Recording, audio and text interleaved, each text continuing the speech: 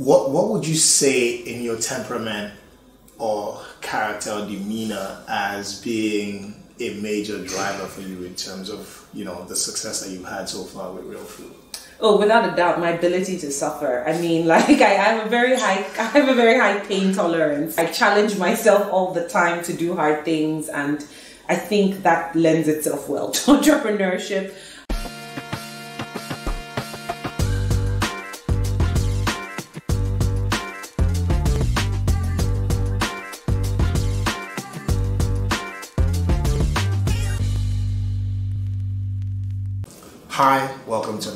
Interesting episode of the High Built Podcast, a podcast where I chat with entrepreneurs and uh, professionals to tease out some of the details of their careers uh, and how they've built their success, uh, to figure out the people, the ideas, the processes, and the platforms that have driven that success.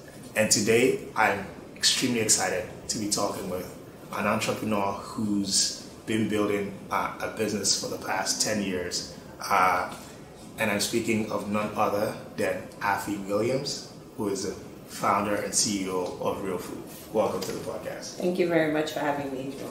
Yeah. The I typically started this off like a pressure cooker. and uh, my first question to you then is um, in, in, in your career so far, what is the most impactful thing that you feel you've done? um, I think persisted. I think that I would I would say that you know that's probably been the most um, impactful thing I've done is that I've, i am staying the course, and I mm. think you know it's it's been a very long and difficult journey, like you said, ten years. Um, it's been um, one where the days are long and the years are short, kind of thing. So it, it does feel like a lot of time has has gone by, but also feels very short in the history of what I'm trying to build. But persisting and really staying the course, I think, has been something that just has gotten me here. Really, I don't think if I had, you know, quit or I'd had, you know, you know, if I'd gone any other way, we'd be where we are today. Wow, that's, that. you know, it's so interesting to me that I ask these questions and I get different answers mm-hmm. and it gets better every single time. um, so the idea to do all of this, where did that come from? yeah, always people always find the story very interesting. But basically, the idea to start this business came from my first job. I was working um, in South Africa and uh, had a very comfortable, very exciting job working with entrepreneurs. Um, and I did that for four years for an organization called Endeavor South Africa.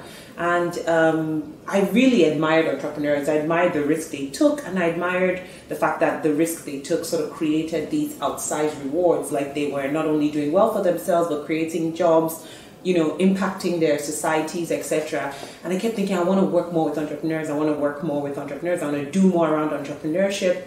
And uh, the real question, the real thing that was nagging at me was like this idea of job creation and youth unemployment. I kept thinking like, how could I best support entrepreneurs to um, create more jobs? And then the answer sort of eventually came to me that I should be the one you know, starting a business so I could create jobs on my own. And when I went down that rabbit hole, I literally Googled which sector creates the most jobs. and uh, agribusiness came up, and at the time, you know, we had a minister of uh, minister of agric in Nigeria was Adesina. I was in South Africa at the time, but following what was going on in Nigeria, and there was this whole push and narrative for you know making agri sexy and bringing youth back to agriculture, and that just sort of stuck with me and I selected fruit processing. I just went down a rabbit hole and then decided uh, to quit my job and you know told my mom, mom, I'm moving back to Nigeria. She didn't think I was serious, and then I bought a ticket and I came back and started, and I've been working on it ever since. So one of the things is that I've worked on this business since literally the first day I moved back to Nigeria,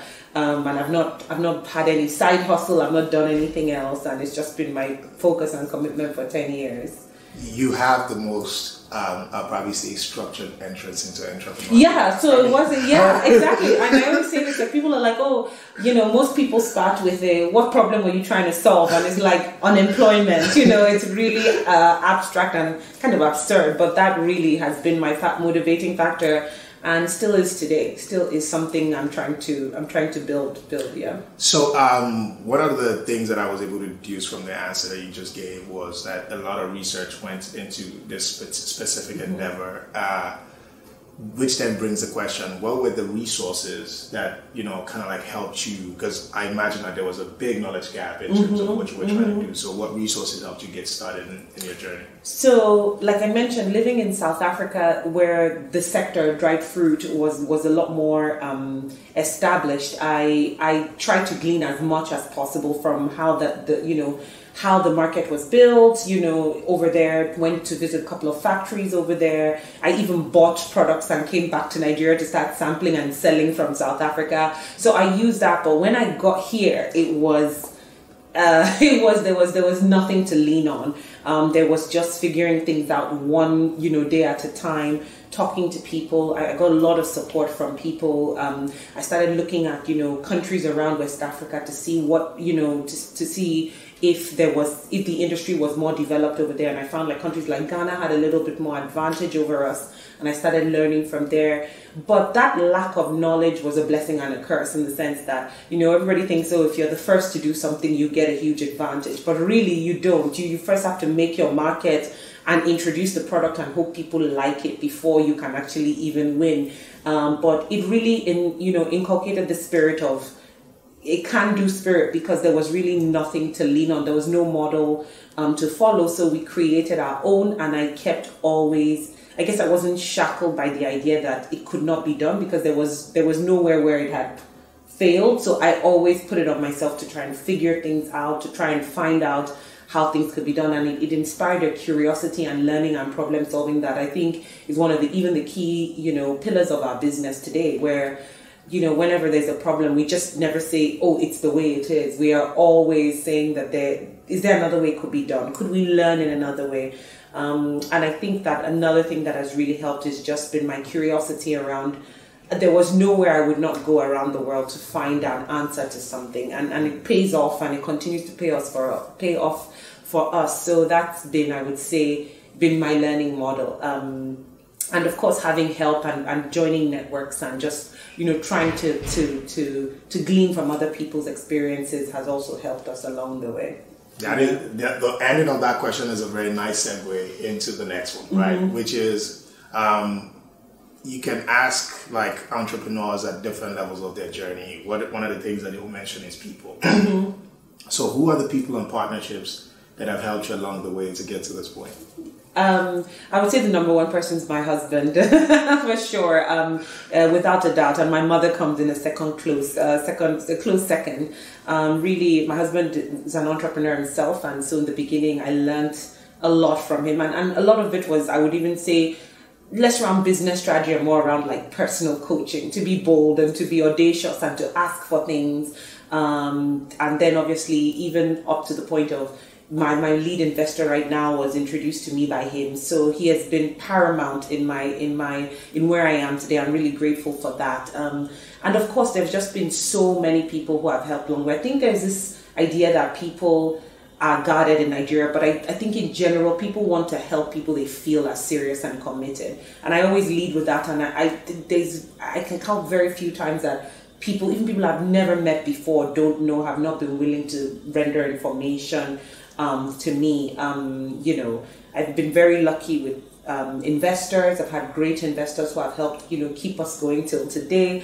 Um, and also just just being, I think, open to feedback and being able to get feedback has also made that you know people be really helpful to me but i mean it takes a complete village to, to grow a business so there's been a ton of people i can't remember even some of our suppliers have been wonderful to us giving us like credit terms that would without which we would not be here um, it's it's it's innumerable but um, i think you know getting that help comes from what you're what you're giving in the sense that do people really feel that you're doing something and meaningful and you're serious and you're committed and you're more likely to get help that way mm-hmm. that, that that is that is really powerful mm-hmm. um, what what would you say in your temperament or character or demeanor as being a major driver for you in terms of you know the success that you've had so far with ReelFruit Oh, without a doubt, my ability to suffer. I mean, like I have a very high, I have a very high pain tolerance. So, um, but in all seriousness, it is that. It is grit. It's grittiness and um, um, you know, just the ability to to do what I say I'll do. I'm a very um, I like doing hard things in my in my personal pursuits. I'm a marathon runner, so um, it, that kind of gives an insight into. I've run over twenty plus marathons, so I uh, and I even run marathons while I'm pregnant. So I do I challenge myself all the time to do hard things, and I think that lends itself well to entrepreneurship. Um, I, I I play football, recreational like touch American football. I, I, I definitely and, and something I picked up later in life. Um, so this idea of like just being you know being um, somebody with a, a, little bit more than average grit i think has been very helpful to me and um, really somebody who is okay with doing things in the long term so i know that entrepreneurship in nigeria is extremely um, risky there you know given the macroeconomic um, conditions of the country, it's always boom and bust. We're always in up and downs. There's always a period of like high oil prices, then low oil prices, and then everybody leaves and comes back. Um, but I don't know, there's just a level of persistence, I believe, that I'm the kind of person who does a few things and sees them through to the end. Mm. So that's also really, really helped, um, really, really helped me.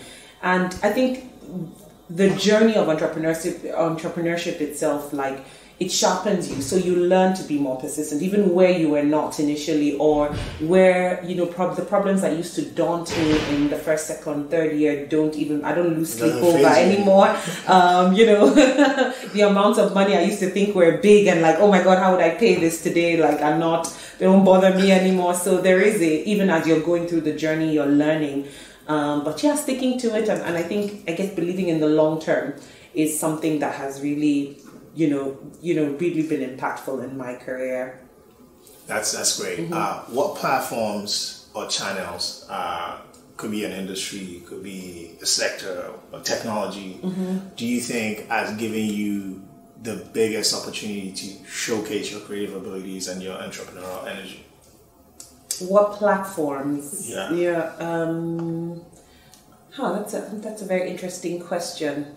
Um, I'll probably venture to say maybe it's the agricultural sector in Nigeria, but but I don't want to. Um, I think um, yeah, that's a very good question. I think more for I think what has been I think what has allowed us to um, I think showcase ourselves more at, you know the most as a business has actually been I would say the novelty of the, the business. So the fact that we were operating in a in a country that this did not exist before um, the impact of it, I think, has been a lot more, and we've gotten a lot, certainly a lot more recognition, and a lot more recognition for innovation, and a lot more recognition for um, our branding and things like that than we would elsewhere. Because elsewhere in the world, this is a very common product, and now, luckily, it's quite common in Nigeria. I'm really proud that that's something we did. We built an entire subsector of product that didn't exist before, but in the early years and the support we got, it was wow, you know, how do you get why you how why are people eating dried fruit? Like,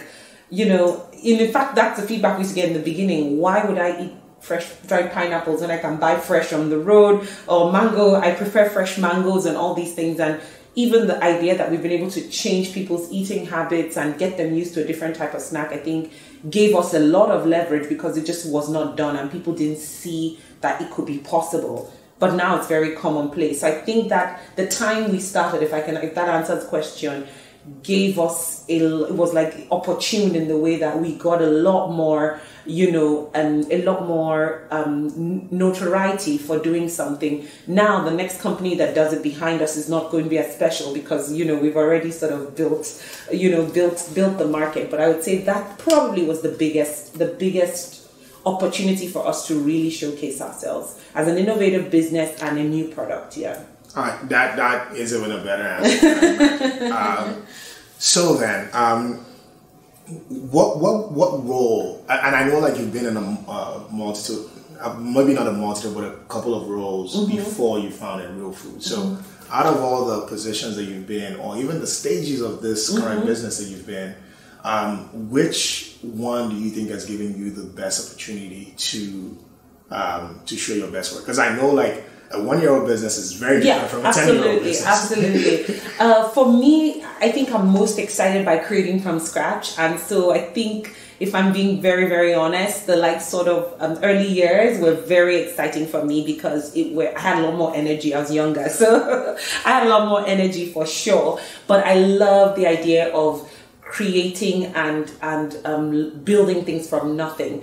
And now, as a ten year old business, I can't do that as much. So, kind of like my job is uh, my biggest strength is being able to, you know, to, to look at nothing and make it something. I'm not particularly as excited about taking it to like my, I mean, my, my investors would probably not like to hear that, although I don't mean I'm not committed to building a bigger business, but I love the idea of like starting from nothing. And now, as a 10 year old business, my job is really, um, as a CEO, is really around steadying the ship and making sure like a lot more people are moving in the same direction versus five years ago, it was about like like figuring things out in real time and you know bringing new things to life and that was really exciting for me. I am not i'm not the kind of person daunted by having to start from zero. I don't mind. In fact i, I thrive there. Um, but now we're not at level zero anymore. So my my, my countenance has had to change and uh, it's really frustrating i think most entrepreneurs will say this when you're like in 10 years old you can't you can't wake up one day and just say let's change things it doesn't happen like that um, but definitely the early, like the years three to five, six of the business where we were really innovating. And I mean, we still are, but we were really, really innovating and cracking codes and, and trying to outsmart Nigeria and its problems and, you know, all sorts. So it was very fun. It was a very fun time then, yeah. Yeah, it's the analogy would probably be closer to um, transitioning from a foot soldier to a general. Yeah, yeah, exactly, exactly. so, um, what would you say is the biggest challenge that you faced to date, and how did you overcome it? Yeah, so I think I would say if I'm to pick, the biggest challenge we, we faced was definitely around raising funding um, to grow the business, and I think that that came from a lot of different things. One, we had a new product, so we had to establish that this product was was was worth investing in that the market actually wanted it. So that took five to six years. Uh, on top of that you have nigeria and its impact on your business. Devaluations uh, you know recessions and uh, you know the market up and down that, that really slowed slowed us down. And then covid slowed us down by another year. So uh, that nine year journey was really daunting. And i think like for most businesses if they don't raise money at a particular point you know, especially a product business like ours where you, you need working capital, you need, you know, there, there are a lot of constraints on cash, you won't grow. And so we've been very fortunate that we've been able to raise money. But, you know, how I overcome that was really a lot of different models. I started off trying to raise this big amount of money that nobody believed I could uh, subsume and use. And then I started changing my strategy where I was like, okay, if I could just raise smaller amounts from individuals and small firms, um, to meet more realistic timelines and, and milestones, maybe that would help. And that started working. So instead of trying to raise like $3 million, I would go to an investor individual and be like, give me a 100000 I'll get to like 100 more stores, you know, and, and I, I sort of changed my model to tweak what people were comfortable with investing in here. And that started working and getting us to the point where we ultimately then showed that we were growing and we're able to grow enough for you know PE funding, which is what we closed last year. But it was it was tough and it was long, a lot of disappointment. I talked to a lot of investors. I will never forget like my best ghosting story where after um, I was talking to um, somebody who said he would be interested in investing in my business and I was in New York running the New York Marathon and the day after the New York Marathon I'm like mind you my legs are not working, I'm exhausted and hobbling.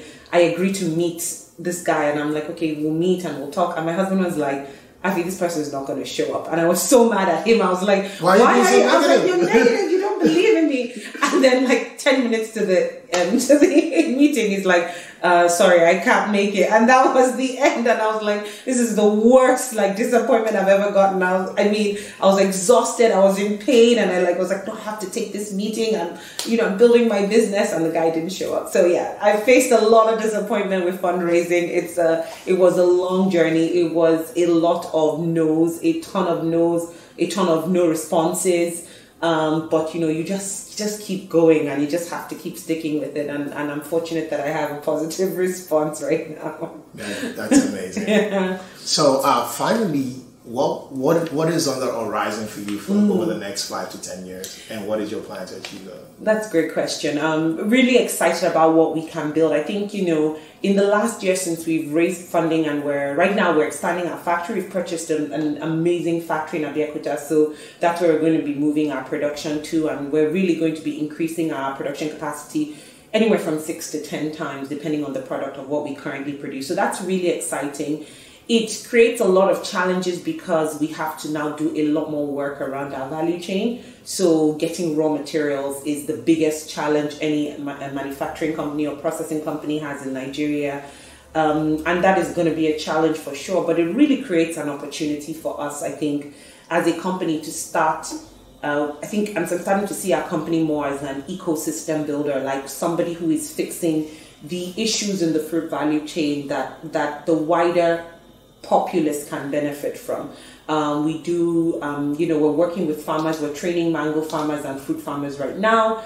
Um, and we hope to do more of that work so that not only does the productivity of fruit increase in Nigeria, but you know more people can purchase quality fruit for their endeavors. Right? We're processing at a scale that hopefully allows us to um, start serving new customer bases around Nigeria and the world. We're training youth in agri processing. We're creating jobs. So I'm seeing um, a lot of growth in what we want to do. Increase the number of jobs we create increase the number of products we bring to market increase the number of farmers in our network. So there's just a all-round positive you know positive um, outcome for the ecosystem. And i think as we position ourselves to do that we, we will attract the partners and the people who want to see our work appreciate our work and want to support that work. And that for me is great because i think it still ties to my original vision which was that if i'm an entrepreneur I want to do well for myself, hopefully want to exit and make some money, but I also want to um, make sure that what I did impacted a lot more people, and I see that being the case. So again, it also it also speaks to us wanting to be the first and the largest. I mean, right now we are the largest, but really largest commercial food processor in Nigeria, and doing something that ten years ago no one would have thought could be possible. Uh, so if we achieve that, uh, I, I, I can leave a happy woman and I can say my job has been done. Yeah. yeah, I mean, eh, eh, eh, you, you're definitely a trailblazer and I all I can do is just wish you more success. Thank you uh, very much. Journey. Thank you um, very much. Well, thank you so much for making the time out today to, to chat with me. I think this has been uh, extremely enjoyable for me and learning about your journey and some of the challenges um, and guys, that is the end of another uh, episode of the High Built In podcast. Uh, if you enjoyed it, give it a like. Uh, don't forget to subscribe to the channel. Uh, follow me on all socials at Juwon underscore IO. This has been an Afro Laser production, and we'll see you in the next one. Peace.